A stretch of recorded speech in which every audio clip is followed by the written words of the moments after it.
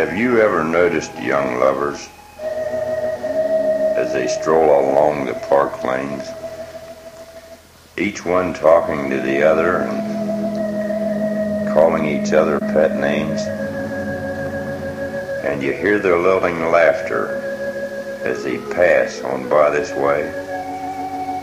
But I wonder just how much was said that we didn't hear them say like the way his fingers moved that curl hanging down above her eye. Well, I know it said more to her than was heard by you and I.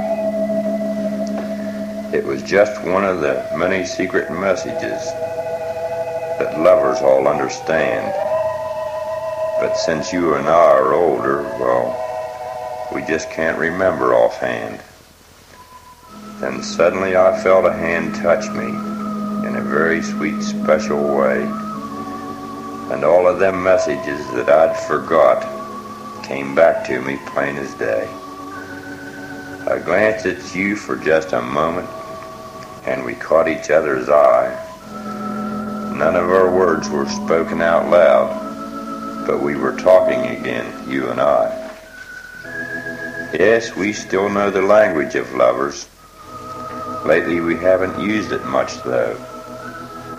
Maybe we've just been too busy to really talk much, you know. But I promise you this now, honey.